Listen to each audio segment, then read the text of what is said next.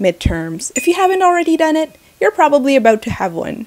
And if you're in the middle of studying right now, please put your phone, your tablet, your laptop, your desktop computer away right now and go study, please.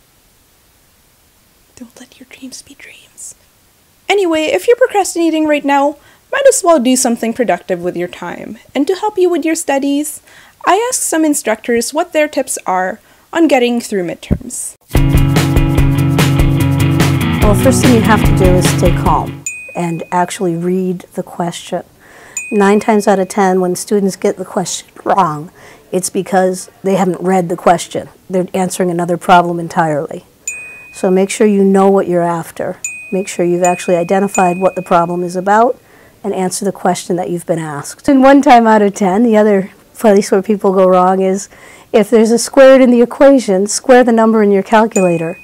You can't forget to take a square root or square something if it's in the formula, because otherwise you're going to lose marks because it's wrong. One of the courses mine that I teach is electromagnetism, which is very heavy math oriented, and it's strongly recommended that students study in groups, where if one individual does not understand how we got to the to the answer, the other one can probably pitch in and help. And if not, go and see your instructor. Find out what happened, wh what are the missing steps. If you can pick up all the missing steps, um, um, you know, that's great. If you don't, it's, it's, it's, it's good to ask questions. It's actually very appropriate to ask questions in the, in the lectures, in the tutorials, before you walk into the midterm. Okay, uh, advice on writing midterms. Uh, I must say I don't have any sagely advice because I think everybody approached this differently depending on their learning style.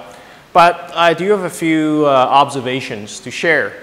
Uh, number one, put your cell phones down when you're studying.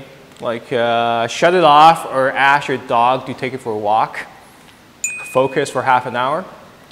Uh, number two, students uh, who do well, sometimes they ask students from previous years whether they've had the same uh, instructor or not. That way you can sort of figure out what, what style um, of questions the test uh, might be composed of.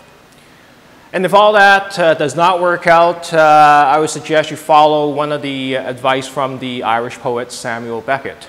And you can see, uh, you know, the quote is here. So if you fail the first time, uh, well, try again. You'll fail better the second time. That's my advice to you. And so I've shown you this quote before uh, from the uh, Irish poet, uh, Samuel Beckett.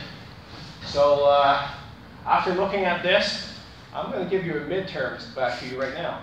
Don't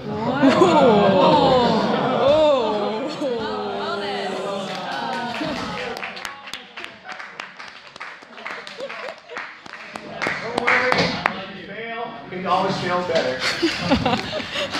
um, now, I'm gonna go study now.